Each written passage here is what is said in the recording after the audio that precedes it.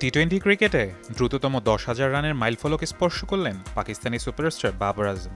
ইতিহাসে তেরোতম ব্যাটার হিসেবে এই কীর্তি গড়লেন তিনি। পেছনে ফেললেন ইউনিভার্স বস ক্রিস গেইলকে।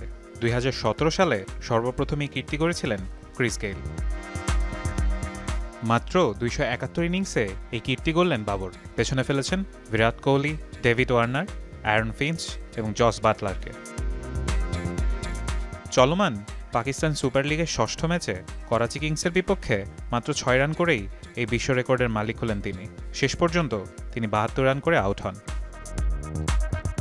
তার দল পেশোয়ারকে তিনি সামনে থেকে নেতৃত্ব দিচ্ছেন।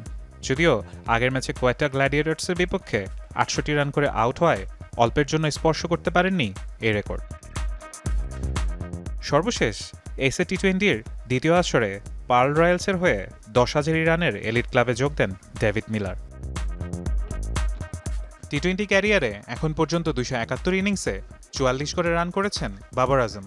যদিও তার স্ট্রাইক রেট একশো তিরিশের কম, কিন্তু প্রতিটি ম্যাচেই নিজের ব্যাটিং শৈলী দিয়ে নিজেকে অনন্য উচ্চতায় নিয়ে যাচ্ছেন এই পাকিস্তান গ্রেট ফারহান ইসান, যমুনা স্পোর্টস